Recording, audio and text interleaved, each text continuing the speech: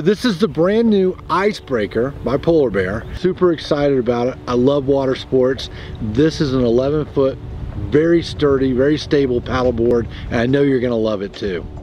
Included with the board is the backpack, rolls up and fits back into the backpack. You've got your pump, you've got your paddle, which is extended to 82 inches.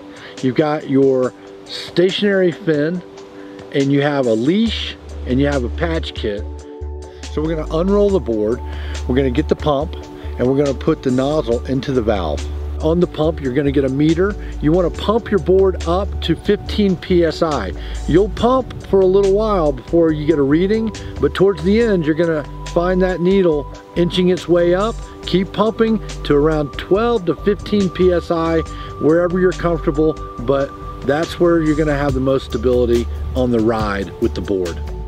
Okay, so we have here, the two rubber fins that are built into the board, these are maneuverable. Don't worry about if they get bent a little bit. And then we have the primary fin, which slides into place and clicks in, and it has a pin that keeps it locked in tight.